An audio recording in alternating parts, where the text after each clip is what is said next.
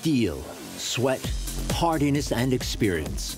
The Meyer Werft in Papenburg is building a cruise ship powered entirely by natural gas, the AIDAnova. How is such a huge, complex ship created? Up to now, this is a one-of-a-kind project.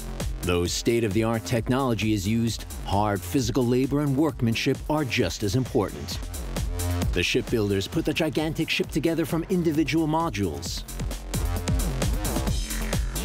These enormous propellers will eventually be powered by liquid gas. The biggest challenge is the race against time. From the start of construction to delivery, the shipyard has just 20 months and 25 days. High tech and manual work. The construction of a cruise liner. Meyer Werft is in its seventh generation of family ownership. For 200 years, fishing trawlers, light vessels, and cruise ships have all been built here. 3,500 people work here, supplemented by thousands of suppliers and service providers. At the press of a button, a plasma cutter with a flame of 30,000 degrees cuts the first steel plate. This signals the official beginning of the new cruise liner's construction. For workers, engineers, planners, architects, and the shipping company, the adventure begins. They have 633 days until the scheduled delivery date. Here are the criteria. The finished product is to be the most modern, most environmentally friendly ship ever to sail the world's oceans. The cost, nearly 1 billion euros. The ship was entirely computer designed, so it's already possible to take a virtual stroll along the luxurious decks and through the restaurants on the designer's holodeck. Thanks to virtual reality, the bridge wing, the side of the ship's control bridge, is already accessible, visually at least. Virtual reality allows the planners to move around the as yet unbuilt ship and see exactly where there's still space to place a pipe or to run a cable. Actually, we're planning, though the technology doesn't yet really even exist while we're planning it, or it's technology that's not yet developed to the point where it could be used at this time. The process begins with a new ship concept, with truly new technology. Then development groups are formed, which will bring these visions into reality. This is a high-tech ship. But the actual shell requires good old-fashioned physical labor. Ships are still built in the same way as steam engines were in the past, or the Eiffel Tower. One steel plate after the other is welded together. The largest plates are joined together in the welding center by a giant robot, an absolute necessity as the dimensions are enormous. The new ship will be 337 meters long and 42 meters wide, longer than three soccer fields. These plans are becoming ever more detailed. We have at first a section, a block, and then a floating unit, and from two of the floating units, we'll have a ship. Only by using this section-by-section construction technique can Werft assemble such a large ship within 18 months. Shipbuilders first weld individual steel plates together into sections. They then put eight sections together to form a block. Out of 90 such blocks, the new ship eventually emerges. The advantage is that the builders can work on different parts of the ship at the same time.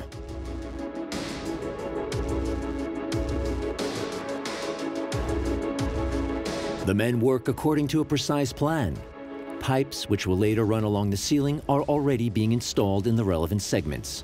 So that the fitters don't have to work above their heads, everything's done on the floor. A huge rocker arm then turns the parts over again. Change of location. Neptune Werft in Rostock also belongs to Meyer Werft. Here at the same time, the rear floating section is being built. The four engines and the three gas tanks will also be installed here in Rostock. The two larger tanks are 35 meters long and 8 meters in height. Later, liquefied natural gas, or LNG, will be stored inside them. LNG is natural gas that's cooled down to minus 162 degrees, turning it into its liquid form. The contents of these three fuel tanks are sufficient for a cruise of at least two weeks.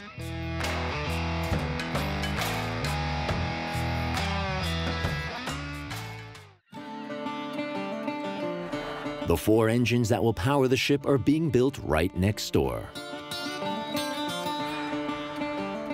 In this manufacturing facility for large engines, there are pistons as big as beer kegs, with piston rings as thick as fingers and crankshafts as long as a truck.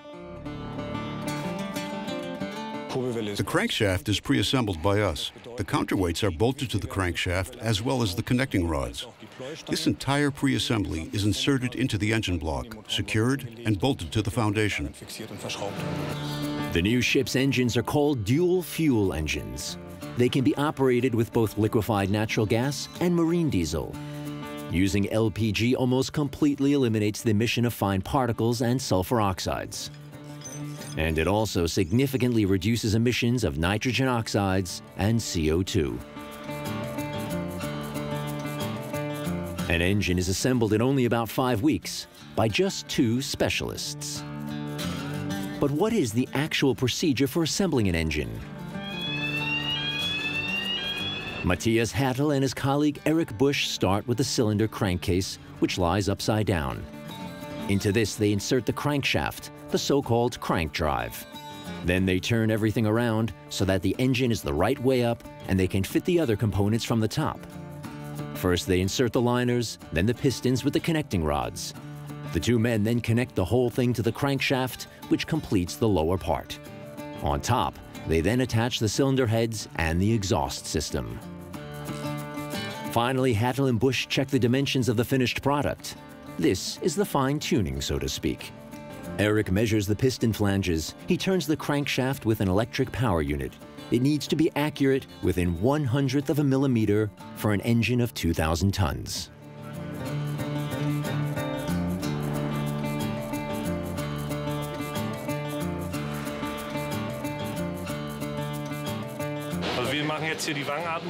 So we're doing flange breathing at cylinder station 1. It's checked once to see how the crankshaft gaps open, and this will also be recorded for the experts. And this is done again at the test stand to observe how the axle bends or warps. This is important because otherwise the crankshaft would break under too much strain. It could be too tight, or there's a defect in the part, or it doesn't sit properly. We can detect this through testing. Once assembled, the engine arrives at the test bench. Now it has to show what it can do, how well it can perform, and also whether it keeps to the emission limits and runs as cleanly as it should. The main difference is that we don't produce soot, and thereby the engine runs very cleanly. Even in the smokestack, there's no smoke. The test bench. Soundproof and with all the required fire protection equipment, this is where all new engines run for the first time. The engine starts at precisely 500 revolutions in three minutes. Exhaust gases are discharged upwards and measured. Cooling water pipes, fuel lines, and lubrication pipes had to be installed beforehand. After passing all the tests, the run-in phase begins. The engine will now run for about 10 hours. The parts have to be retracted from the crankshaft and the control shaft, especially the bearings, but also the bushings and pistons.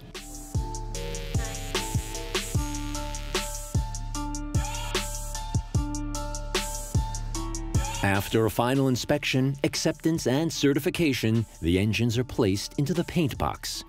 Here they are given the color the customer has chosen. These LNG engines are being painted white. Now the units are ready to be installed. June 30th, 503 days to hand over. The four engines are being delivered. Each engine weighs more than 200 tons.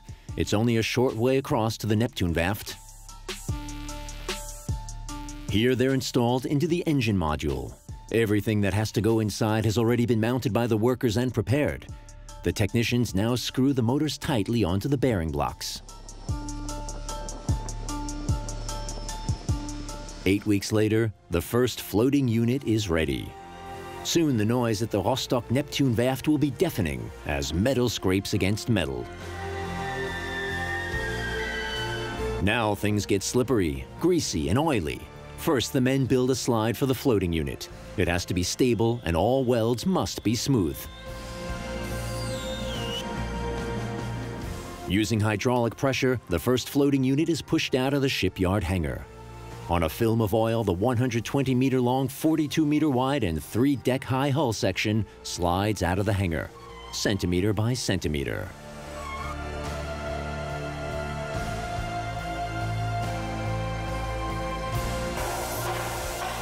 Finally, the hull section comes to rest on a pontoon. Slowly, it's gradually lowered, and then the engine room module floats on its own.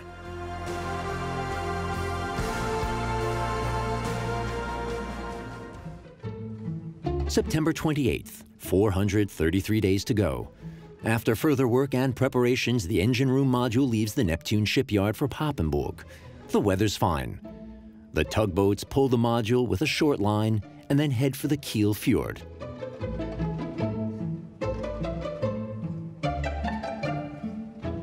This transport is no easy task. The huge floating unit has to be towed all the way from Rostock to Papenburg in East Friesland. In the numerous locks along the Kiel Canal, it's really a tight fit. Naturally, everything's been well prepared, calculated, and rehearsed.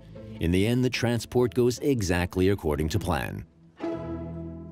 Here at the Werft, they've been waiting for the module, and it's brought into the hangar right away.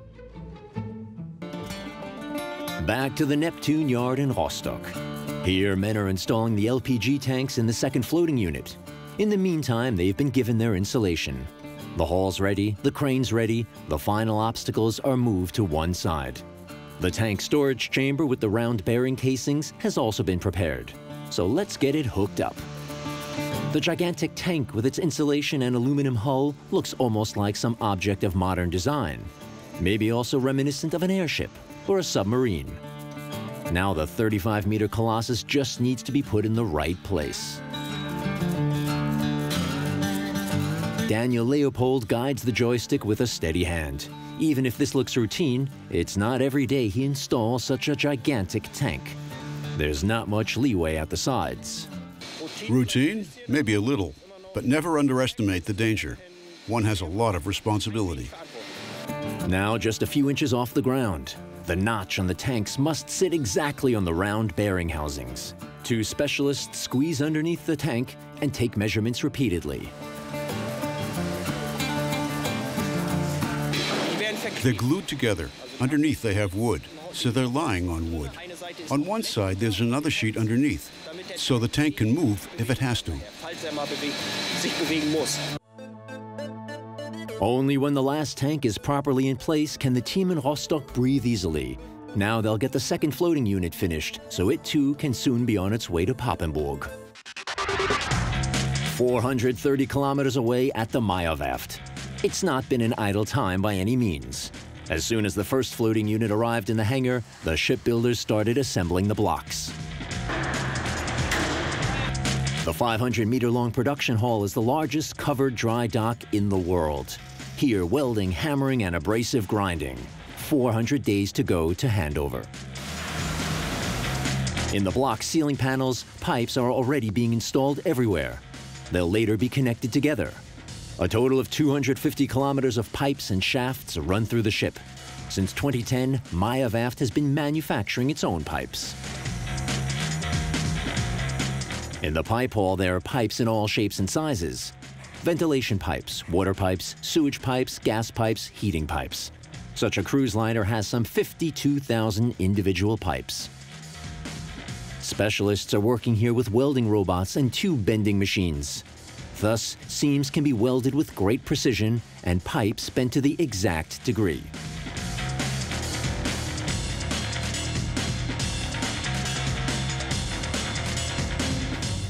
But sometimes good old-fashioned workmanship is also required. That's when the experts are needed, as in this case. A special design was requested that a machine can't deliver. This is a job for Jürgen Pahl. He's the man for custom-made pipes of all kinds, and he's been doing it for 25 years. And only he knows just how he does it. One thing is clear, in the end, a pipe is produced and it's a perfect fit. These are actual fixed points, thus there isn't really much to adjust. It has to be an exact fit. Building up the blocks onto the hull section with the engine module continues apace. Then the dock is flooded. The Colossus floats up. December 11th. The weather's not very pleasant here in the north, just under zero degrees and a stiff wind. And it started snowing. The big gate is opened and a cold draft blows through. Outside, two tugboats get to work. They have to pull the hull section out of the hangar. The second section will be arriving from Rostock before midnight.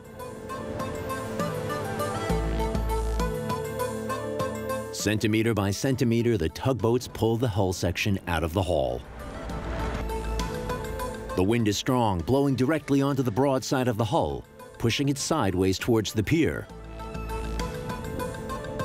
The tugboat goes full throttle to make some headway against the wind. Almost there. In the end, the shipbuilders, using winches and muscle power, pull the hull section to the pier. An uncomfortable job in December, but these men are tough. They put up the gangway right away, and work inside the hull continues directly.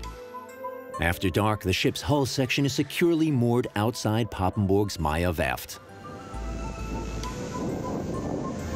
Meanwhile, outside, a ghost ship is approaching. The hangar's empty. Everything's ready. The gates are wide open. The module with the LNG tanks has arrived from Rostock and is being inched into the hall. The tugboat at the front corrects the course to the left or right. Everything's been calculated, but still a close watch is kept. There's very little space at the sides. Slowly, it's eased into place. Now the front tugboat has to be taken outside again. No problem for the crane. It just lifts it up in the air and carries it behind the module. From outside, another tugboat brings in the road module, which is anchored into position. Then the gate can be closed again. After that, the water is pumped out of the dock. Work continues immediately, in parallel on the hull section outside and on the new arrival in the hangar. Now things are getting serious. Everything's on the move. 299 days to handover. The men ride up in transport baskets on the outside of the hull, arriving more quickly to their workplaces. Otherwise, they'd have to climb 40 meters up the stairs several times a day. Everyone here knows exactly what to do. Of course, we have a construction plan, how the ship is to be built. There's also a schedule, and everything is coordinated through the planning department. We have a site manager who then coordinates everything together with AIDA.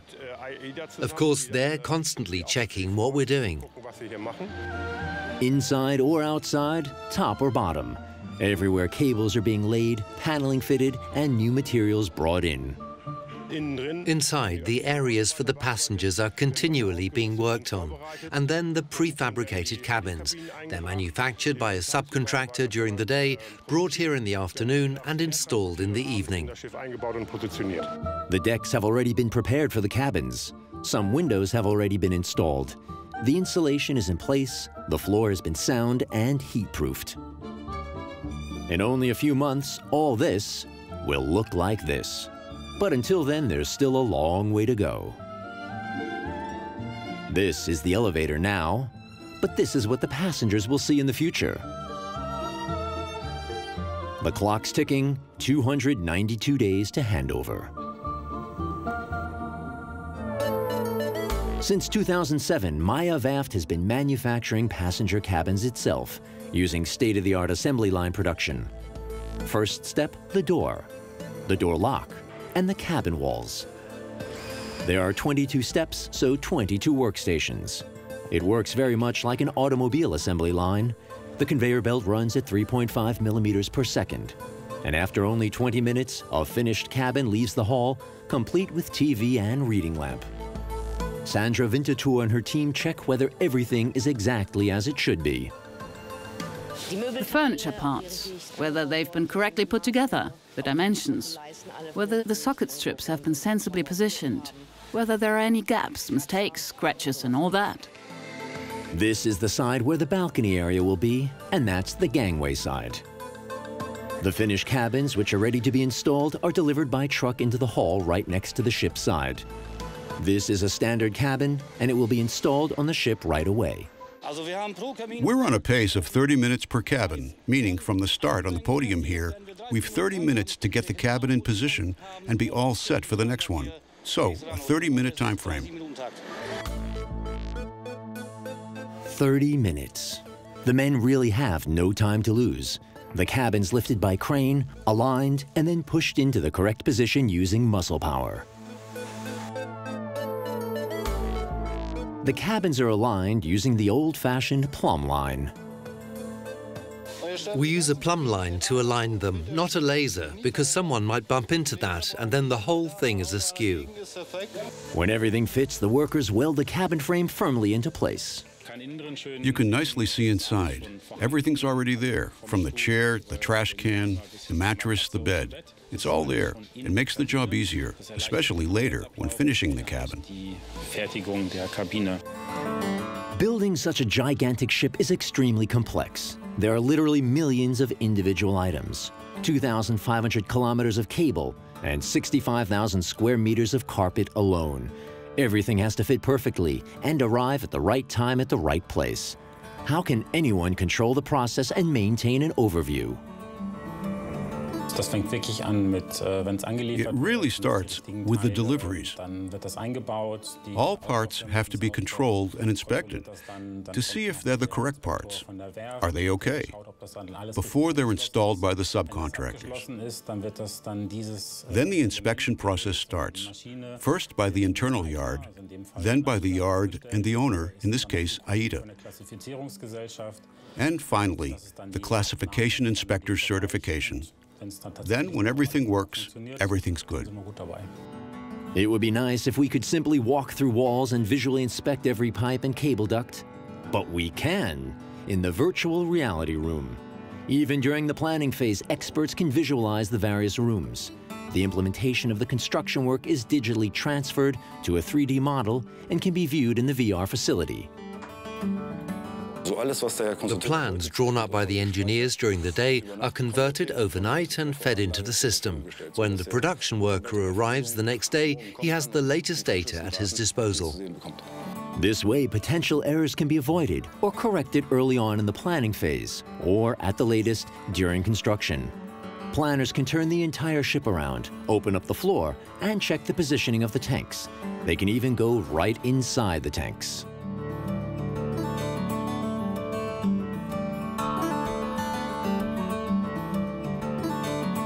The same data we see here now can later be shared with all employees. 291 days to handover. An alarm signal. The strongest crane for the shipbuilders, the Imperial Eagle, can carry up to 800 metric tons on its four hooks. And hanging from this crane is an important element, the ship's future theatrium. So far, it's just the shell, a huge steel structure. It will become a 360-degree theater with 11 LED walls, laser show, and a retractable elevating stage for performers. Logistics are really important. For example, in the theatrium here, the equipment for the rising platform and the LED video wall is already installed. If you wanted to do that later, you'd have to bring them on board bit by bit, and here it's pre-installed in the unit. But now the enormous steel structure is still hanging from the crane. It first has to be taken from the block building site, positioned to the millimeter on the hull section, and fixed precisely into place. Now all cranes have to go back. Only then can we come here with the block. Then all the cranes go over again because the block's just too high. Then we drive back here with it, and finally we can position the block over the ship. It's like the game Tetris for giants. Of course, safety takes top priority. No one's allowed to stand underneath the hanging theatrium.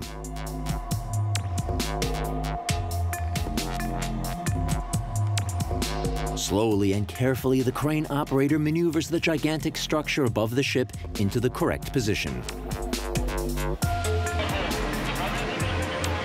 Then it's time to go, and the workers don their safety equipment. They approach the edge carefully, Next, they weld on the towing hooks.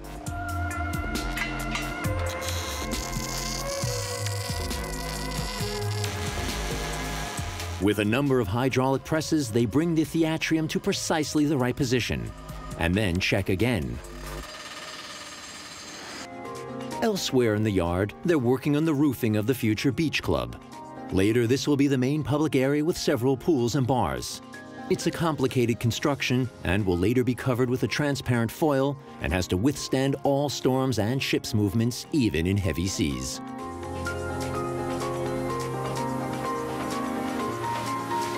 The water slide for the swimming pool is ready for installation. A lot of specialist companies and subcontractors work on such a gigantic ship, contributing their share to the big picture. All this work has to be perfectly coordinated. Anyone who's ever built a house knows how difficult it can be. So what must it be like building a cruise liner? It's now mid-February, 270 more days to handover. The shipyard's preparing for an important step. The doors of the dock will soon be closed because a wedding is fast approaching.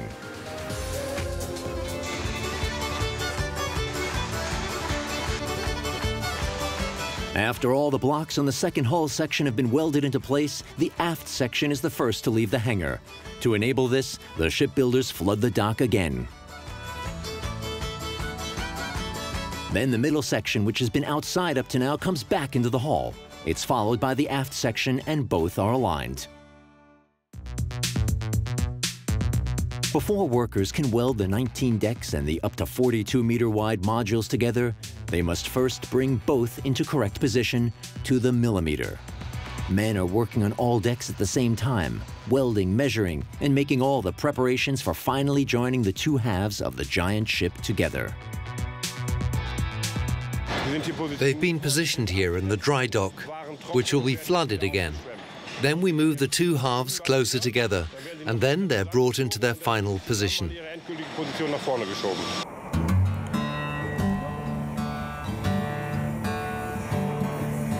In the middle of the 500 meter long hangar is the bridge of the new cruise liner.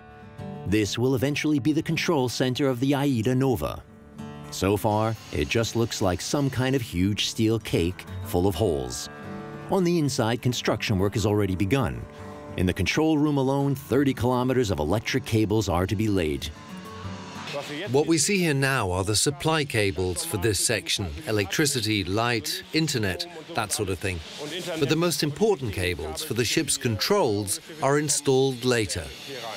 This is because the control cables can only be laid and connected to machines after the bridge has been placed onto the ship. The dock is now flooded. The two sections of the ship now float into position. Then, by means of spot welds, they are roughly tacked together. The exact alignment of the huge hulls, each weighing 20,000 tons, is then undertaken using a sophisticated system of ballast tanks. They're on port and on starboard. Water's pumped in and out so we can keep it balanced. It's very plain to see that the ship still has a slit down the middle. The shipbuilders now have 1,000 meters of welding ahead of them. First, a ceramic guide rail is laid into the slit. Then they can begin with the actual welding. The men gradually work their way down from deck 17. But there are still some steel plates that first have to be aligned. Now we put the starboard press on it. Then we pull them properly together, so they're nice and tight. A hydraulic ram has a pulling power of up to 50 tons, and at one point, four or five are sometimes used at the same time. The two parts are pulled together, and workers then do the welding.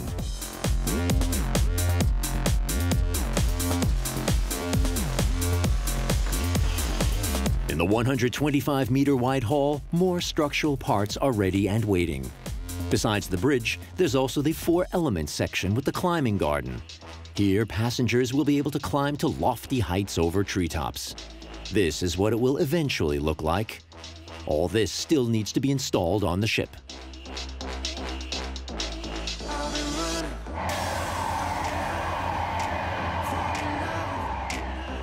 But something very important is still missing, the complete foredeck with the bow and bow thrusters. Block 69 is still missing too. It lies between the bow and the middle section and weighs 500 tons. It's lowered down and then aligned. The block will be installed in just one shift.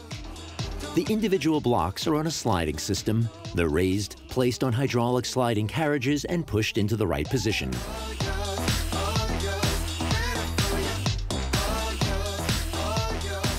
The bow of the AIDAnova is designed to cut almost vertically through the water.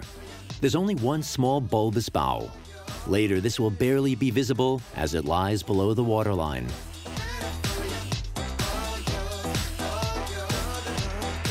The entire front section is pushed into position. Here too, it's first tacked on to secure the bow. The weld resembles a freshly stitched wound. Meanwhile, the finishing work continues inside. The floor is laid. There's an insulating layer on the steel plates, and on top of that, a thin steel sheet. It's a kind of sprung floor. In the restaurant's kitchen areas, self-leveling screed is being laid. Whether shell construction work or interior fittings, General Manager Sven Fahle has to keep track of it all. Today, he's meeting the ship's architects in an equipment hall. The interior designers, together with the shipyard, decide on shapes, colors, dimensions, and materials. The various contractors then have to implement the plans. If questions or difficulties arise during installation work, the team will meet up, just like today. The construction materials used for ships are generally of a higher quality than for hotels. Siegfried Schindler is one of the most highly sought after ship architects. Doing interior design for a hotel is easy compared to what we're doing here. Here we're working with a completely different range of materials, but in very limited spatial dimensions. A ship's really about using every millimeter. It's not Sven Fahle's only appointment today. Next, he goes deep down into the ship's belly. This week, the first engine was tested. It had already been run on the test bench, but only here can you really see how the engine interacts with the other components. Here in the main engine room, there's still scaffolding. Above the main machine, the ceiling is still being painted. The last work's getting done. It'll all come down in two weeks. Then we'll have full access to our main engines and the individual cylinders.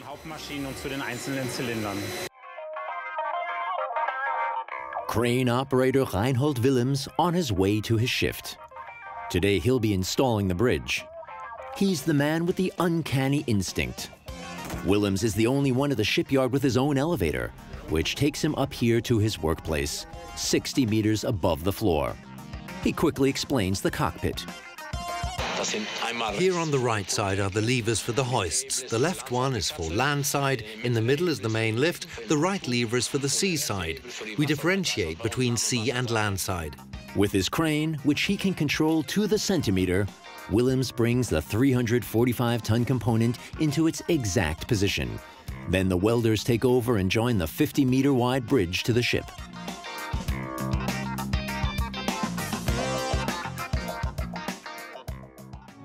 A few days later, a distinguished visitor appears on the bridge. Captain Boris Becker inspects his future workplace. The wing with the ship controls. From here, he'll have the best view when docking in the harbor. There's plenty of space on the bridge, 500 square meters to be exact. Here's the carpet. The underlayer has already been installed, and that's a big step. I remember four weeks ago when the floor here was still open. The bridge will be guarded around the clock, but it does still need a little furniture. There'll be two chairs here. On one side, normally the captain. On the other side, there's a place for a pilot when needed. In front, two officers, the navigator and the co-navigator, who can steer the ship themselves. May 4th, 196 days to handover. Another important milestone in the construction of this giant cruise liner is now imminent, the installation of the two azipods. The azipod is a 360-degree rotating gondola with a propeller attached to it. This is what propels and steers the ship. It used to be you only had a propeller. a rudder, and a bow thruster, which you'd use to move the stern. Now you have azipods. You can really get the force of the water at the exact angle you want. Of course, a big advancement. Now you can steer the ship much more precisely. Still attached to the azipod is a test propeller.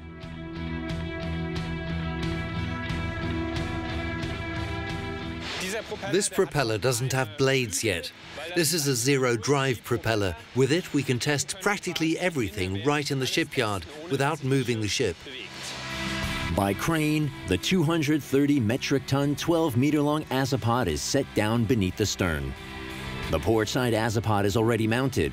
With a so-called low floor wagon, they bring the second motor to its position on the starboard side, where its location at the stern has already been prepared. There is not very much room to maneuver. The challenge is to mount these 230 metric tons, which we see in the background, to the exact millimeter.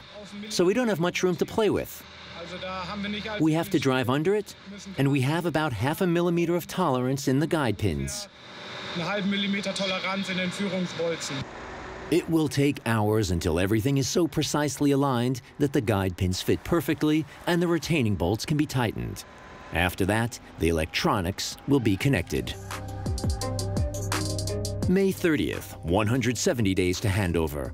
For the first time, the entire AIDAnova has water under its keel. Now it's a real ship. The vessel floats 140 meters to a new position. Here it is given the Aida fleet's typical puckered lips logo. Its 250 square meters of surface area will require 622 liters of paint. In total, 250 tons of paint and corrosion protection are applied. The 622 litres for the artwork on the bow is really just a drop in the ocean, but of course it's important for the passengers. The workers are now in the process of assembling the propellers. Seven men fasten the five flukes onto the right-hand azipod. Their contact surfaces must be meticulously clean, so they'll run as optimally as possible. Each sheet weighs three tons, and each propeller has a diameter of six meters. In the same night, everything is completed. The ship's propulsion is ready.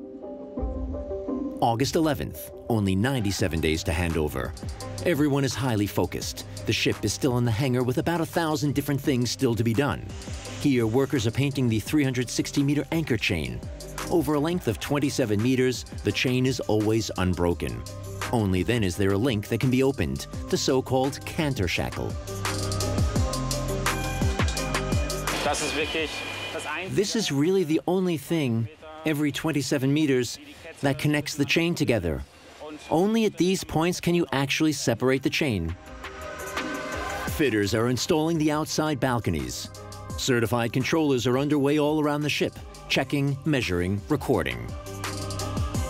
This area has passed its final inspection, so on to the next one. There's a lot going on in the kitchens too. Dumb waiters are being installed. The theatrium gets its final cables and connections. For me, the challenge is definitely collaborating with other contractors because it all has to fit together. So much needs to be coordinated. In numerous corridors, craftsmen are laying tiles. Among all the construction jobs, there's a good deal of skilled workmanship required. This carpenter's been spending weeks making a continuous handrail for stairway railings. He's completed 400 meters and has another 1.3 kilometers to go. August 18th, 90 days until handover. The home straight is in sight. Changes in the corridors to the cabins are clearly visible, but a lot of trimming still has to be fitted. Briefings for the first crews arriving at the shipyard. This advance group will be cleaning the first of 2,626 cabins. On the bridge, the electronic connections to the engine room and the azipods are tested.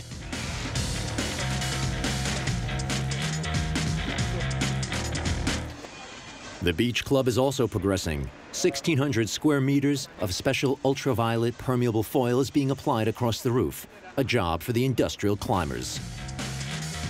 August 21st, 2018, only 87 days to handover. The ship finally comes out into the open. It takes two hours for the ocean-going giant to be pulled out of the 500-meter hangar completely. Then it's moored at the so-called outfitting berth.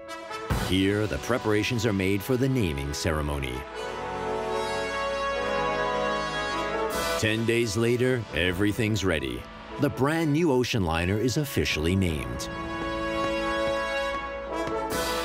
Early October, 38 days until scheduled delivery. The ship is glistening in the sunshine. From the outside, it looks almost finished, but inside, there's still a lot of high-pressure work to do. In addition, everything else a floating hotel needs to actually set sail is being loaded.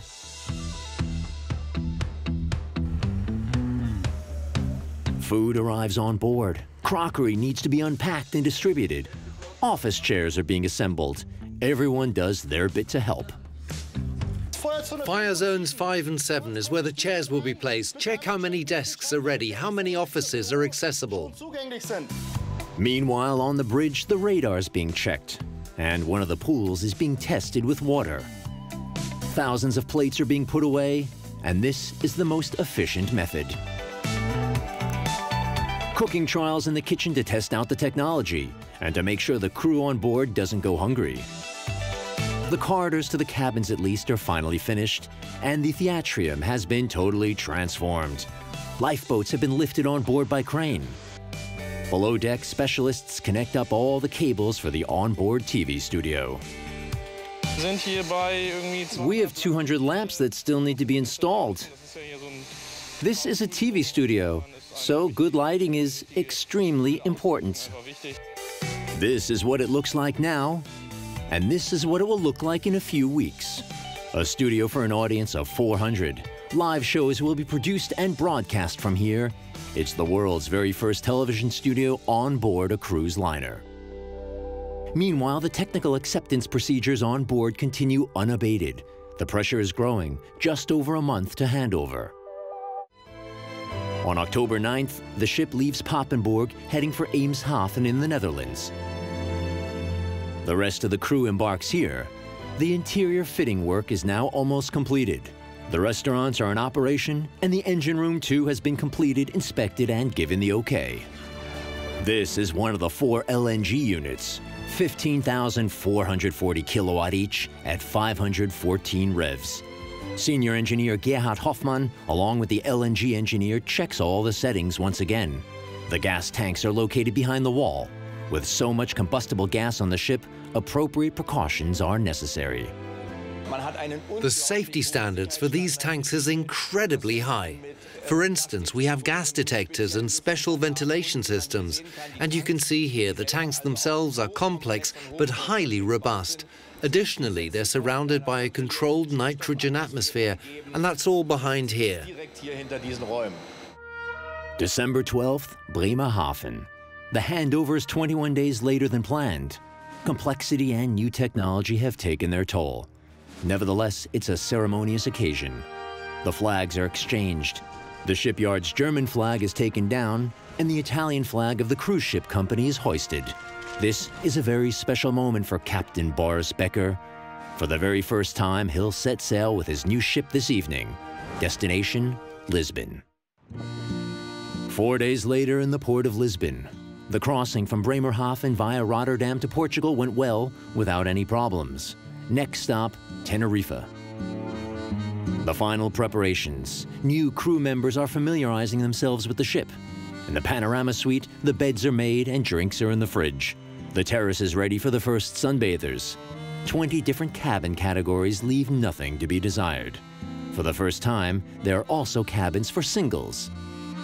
17 restaurants now await the guests' arrival.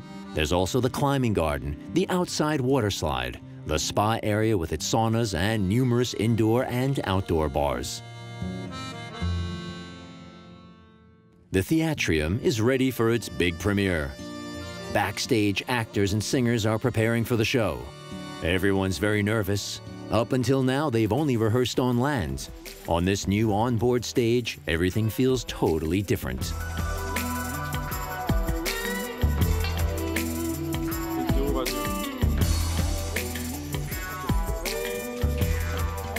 Yes, I'm very excited. Actually, we were working so much and we couldn't wait to perform this in the actual costumes, like for, for an actual audience. So we are really excited because we prepared a lot for this. Let's rock that ship. A living room concert with a virtual band. That means the band is playing digitally on the LED screen. But the singers are performing live in the foreground. The entire show is written especially for this new technology. The choreography is the work of Cirque du Soleil's Benjamin Pring and Alexei Uvarov.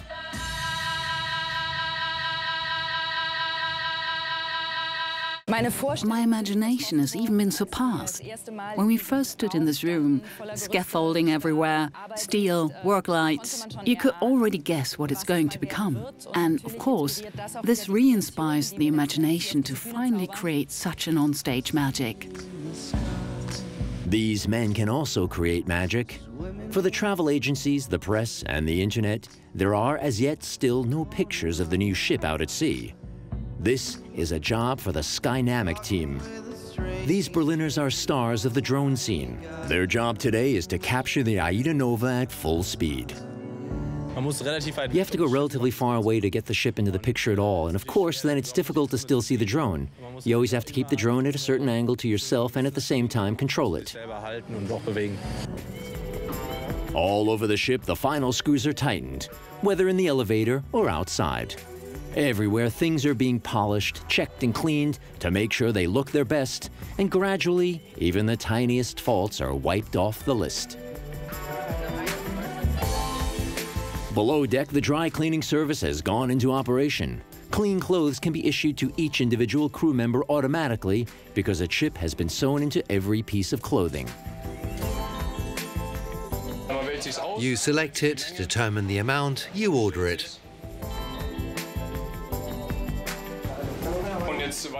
And the system also knows you've picked it up, and you can wear it until you bring it back.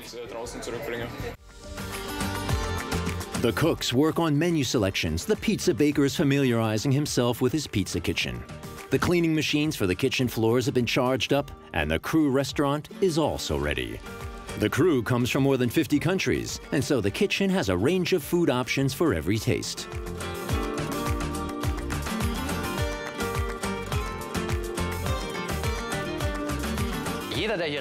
Everyone can eat whatever they'd like, and that's a beautiful thing. I'm also a fan of Indian food, tandoori and such things, you know, that the colleagues often have here on display. But Asian is good as well. Or there's also mint steak with mushroom sauce. To be sure that the 17 restaurants on board have enough to eat for the international crew of 1,500 and the more than 5,000 guests, food supplies will be taken on board again at Tenerife. The ship has 24 refrigerated and unrefrigerated storage houses with a total of 4,000 square meters. The ship reaches Tenerife. Captain and crew are finally at their destination, yet at the same time, they're back at the beginning. Because now AIDAnova's journey across the oceans really begins. From the first cut, it's taken 660 days for the ship to be built. Engineering skill, perfect organization, the shipyard's craftsmanship, and the cruise company have all contributed to making this possible. The very first guests arrive on board tomorrow. And then it will be time to set sail for the first ever cruise liner to be powered completely by liquid gas.